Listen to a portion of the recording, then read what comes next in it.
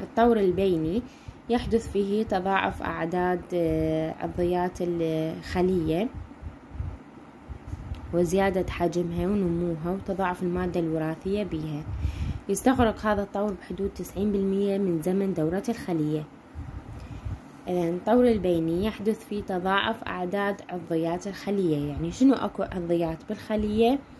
تتضاعف وتزيد حجمها نموها وتتضاعف المادة الوراثية بها.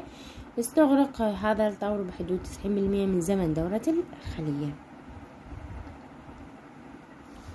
طور الانقسام الخلوي. طور البيني وطور الانقسام الخلوي. يحدث خلال انقسام النواة وانشطار السيتوبلازم وتحدث هاتان العمليتان ضمن نوعين من الأنواع الانقسام الخلوي. هما الانقسام الخيطي والانقسام الاختزالي.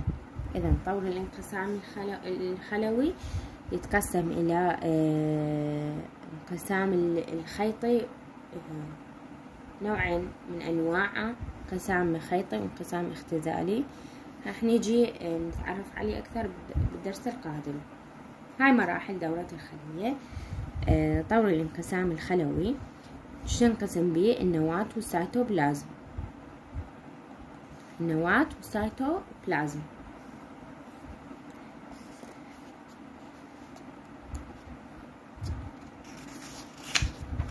هذا آه، آه، ما الانقسام الخلوي؟ تعريف الانقسام الخلوي؟ هذا عملية زيادة أعداد الخلايا الجسم الكائن الحي أثناء عملية التكاثر والنمو. ما أهمية الانقسام؟ هذا. أهم الفعاليات لأنه يشترك بعمليات أساسية اللي هي النمو والتكاثر وإصلاح الأنسجة آه، إصلاح وتجديد الأنسجة التالفة.